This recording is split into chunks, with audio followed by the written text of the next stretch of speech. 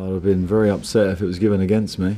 It was a, it was a tough penalty in terms of a decision, but um, obviously the ball has hit his arm, and we're all in a little bit in the dark about what is handball and what isn't handball. You know, intentional, unintentional, I don't know. But listen, I, you know, I can understand Arsenal being very angry about that, uh, but we deserved it.